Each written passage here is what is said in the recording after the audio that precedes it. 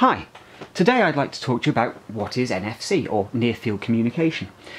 Here we have a selection of three devices that have NFC built in and handle it slightly differently.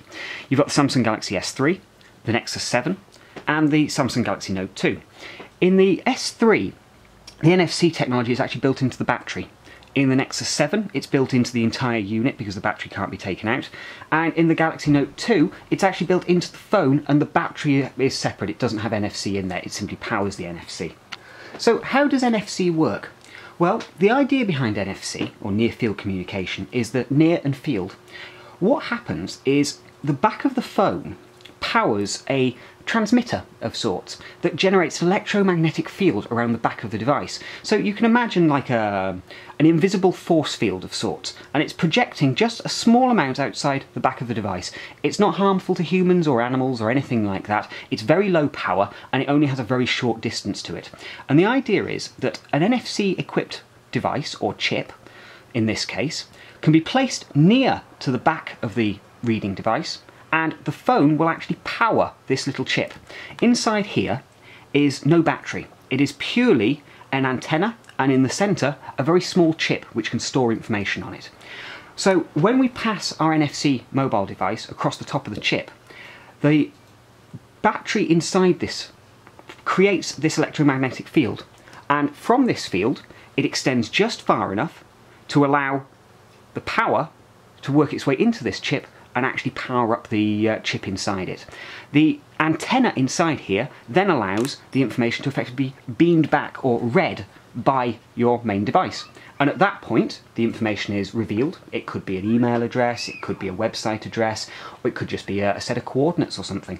Uh, with NFC, the, the possibilities are endless. You're only limited really by how much data you can store on site inside this little chip and that's just about enough to store a short URL, some basic contact information, um, or a phone number for instance. And then you have these larger ones which can store much more data in there. You're never going to be able to store war and peace or anything like that.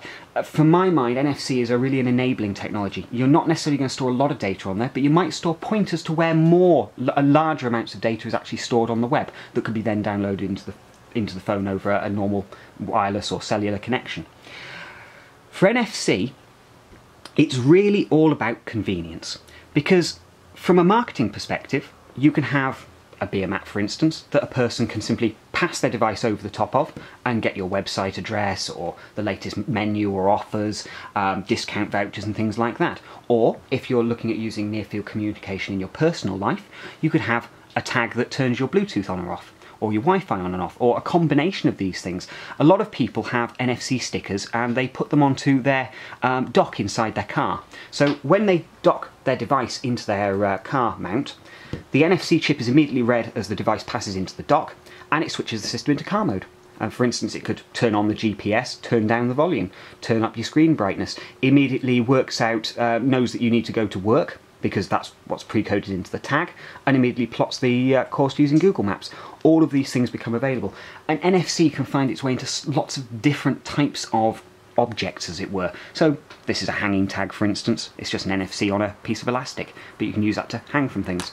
Here's NFC inside a little key fob. So you can pop this on your keyring, and inside here you've got NFC. And actually, what we'll try and do, let's see if we can look closely beyond the actual plastic of this chip and what you should be able to see, adjust this just right, should just be able to see the circuit, a silver ring passing round the outside here. And that's actually part of the NFC. So you've actually got an electrical circuit inside there, which is the antenna, and in setting in the centre is a chip. Let's come back out again.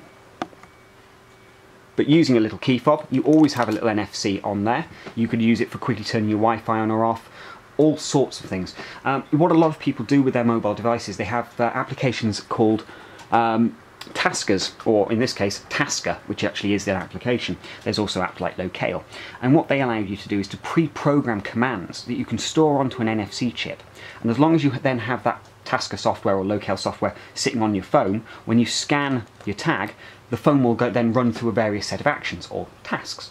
Very useful if you want to chain together you know, a, a wide range of different actions uh, for your phone to complete every time it scans NFC. what you're going to find is that near field communication is becoming something that is both a marketing opportunity and something for consumers to use in their day to day lives, um, for personal use, as it were. So, on the one hand, marketing options, on the other hand, things you can do personally to speed up your life, get rid of some of those boring tasks you do over and over again every day, turning your screen brightness and putting the uh, audio down to the minimum levels, for instance, at bedtime. So, you know, what you'll tend to find with NFC is a lot of people talking about the marketing aspect, and they're marketeers. They're only interested in this particular bit. At uh, Practical NFC, what we're interested in is everything. How are people using this from a marketing point of view, but also how can you use it in your personal life as well to save you time, save energy, save money? You know, if you uh, get rid of the same repetitive task every day of turning your Wi Fi on and off simply by swiping a tag, how much time does that save? How much time could you spend skiing?